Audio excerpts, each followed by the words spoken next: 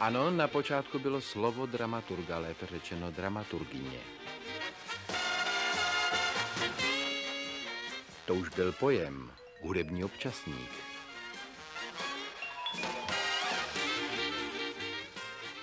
To už jsme tři, v tom je síla. To byl první čin.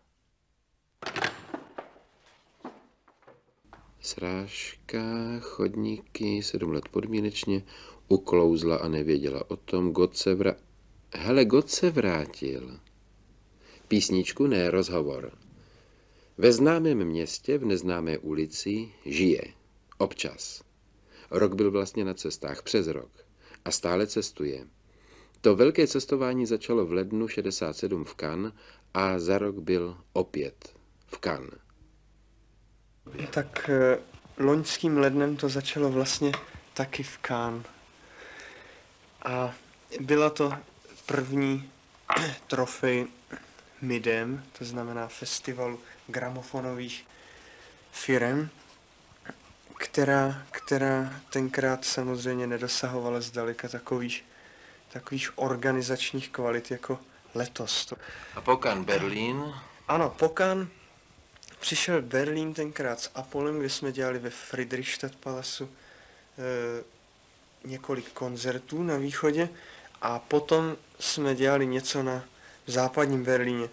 A já jsem tam udělal svůj, svůj první snímek, tenkrát pro, pro Polydor hamburský, který tenkrát si za mnou dojel do toho západního Berlína a jen tak v pronajatém studiu nějakého pána, který přines kafe prostě. Neprofesionální studio. No, teda stroje mluvili, že jo, ale, ale nějaký pán měl prostě studio a řekl dobrý den a tak tady prostě si to zkuste, že jo. A snímek, že jsem nepoznal svůj hlas vůbec. Jsem myslel, že to není možný. Co dokážou stroje udělat z hlasu. A potom? A potom, jo, tak Berlín. Berlín tedy dopad dobře, tato deska, to byla Živago Melody. A na druhé straně... Spolupracujete pořád s Polidorem. Že? Jo, od té doby právě se to rozjelo tak, že jsem natočil další a další snímky, ale oni velice zajímavě, to je velice zajímavé, oni jdou na trh s deskama tak, což u nás třeba není zvykem a myslím, že by to mohlo být obchodní ponaučení.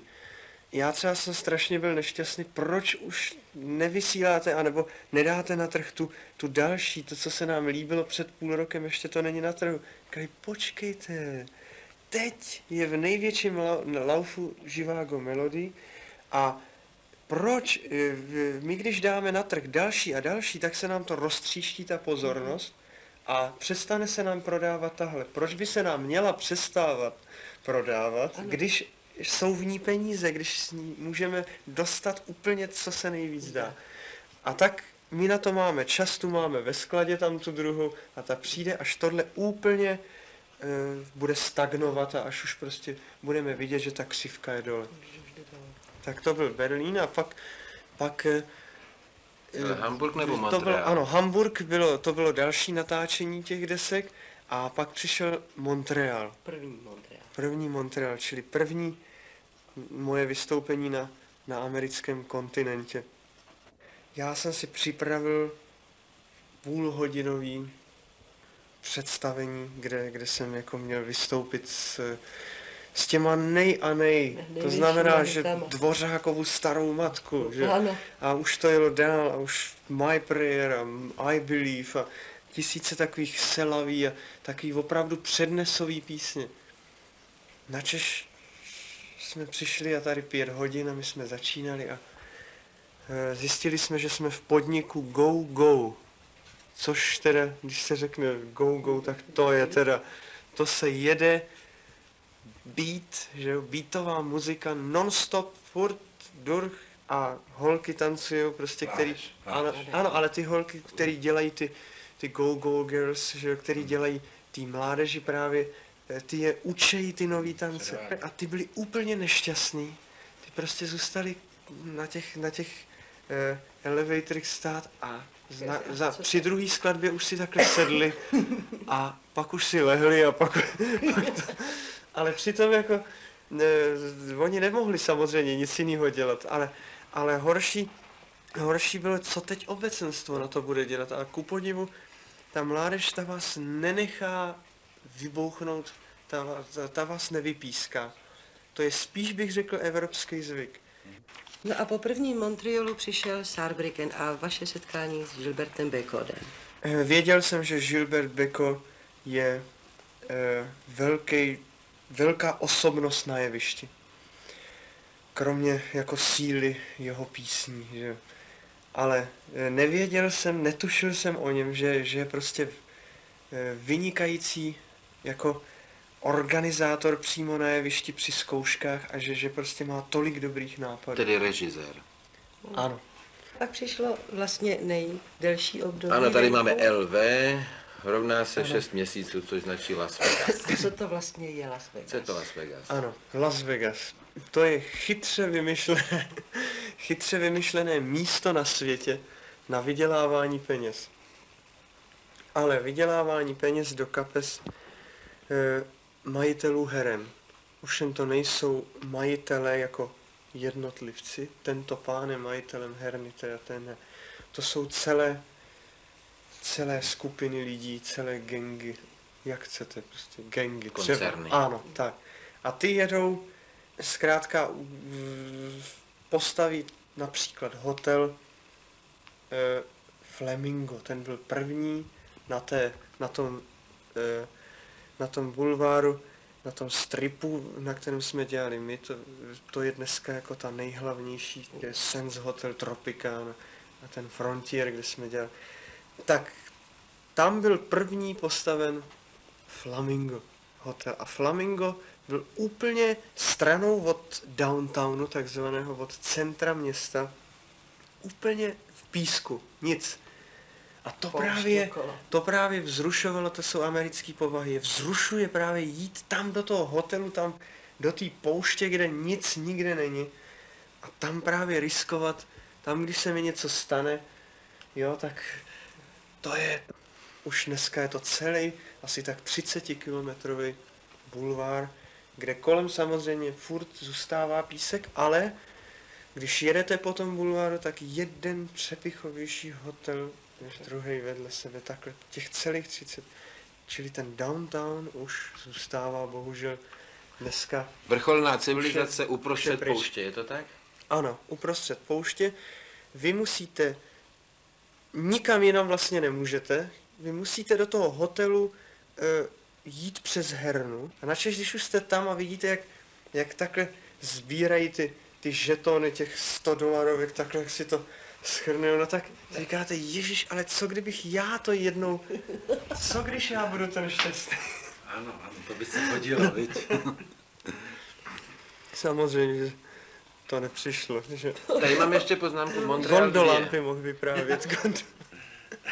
Montreal 2, co to znamená? Ano, po dvou měsících v Las Vegas přišel Montreal, který, který bych samozřejmě abych se přiznal, teda bez, bez, úplně bez mučení, tak bych ho nikdy nedělal. Kdybych býval věděl, že Las Vegas bude a kdybych už věděl, co to znamená Las Vegas, poušť, sucho, hrozný vedro a co to znamená si zvyknout a pak přijet do deštivého Montrealu, že? kde dur prostě pršelo, to bylo furt, to lilo a zima studený vítr. Takže si tam tak hned tak někdo nezaspívá, že? Myslíte v Americe Já vůbec? jsem se například seznámil s mnoha výbornými jazzovými hudebníky, kteří naříkají, jak je těžké sehnat dobré angažma, jak, jak dlouho třeba čekají, než konečně zabere a na tři neděle sežene něco. Je to těžké. A zpěváci to sami. E, samozřejmě, když onemocní, konec. Druhý den prostě tady máte letenku nashledanou a odchod. A chce to dělat i v nemoci. Hmm. nebo, nebo pak, až když padnete, tak to uznají. To není žádná legrace. Tedy. A oni zase dobře zaplatí, takže... No, přesto, ale... Přesto to ano, není přesto. tak jednoduché, jak si by si mnohý domníval, že? Po Las Vegas tedy přílet do Prahy a můžu se vám přiznat, že jsem celou dobu v Las Vegas přemýšlel o tom, jak měsíc mě nikdo neuvidí. Blázni, bláznivý! Je, blázni! Jak někde zalehnu u babičky na venkově. Jak prostě ne, nikomu neřeknu, kde jsem a až si odpočnu, pěkně si všechno srovnám v hlavě a začnu úplně pomalučku zvolna znovu. A nestalo se to. Druhý den hrozný fofr. Prostě okamžitě tiskovka A na Češ Lucerna. 8. Lucerna samozřejmě, na kterou jsme se připravovali celý ten týden od Nového roku. Tam jsem zpíval, myslím, hodinu, hodinu, celou druhou půli, úplně sám a samý nový písničky. Boy,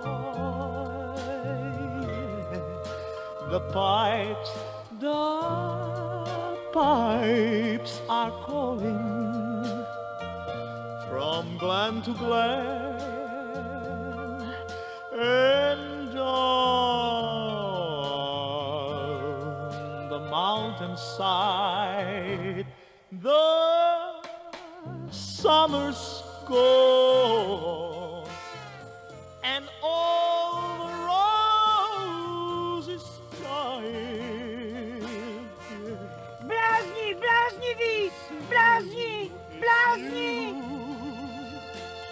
Must go and I must bide.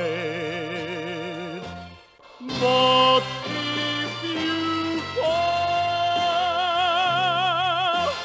if all the clouds are dying,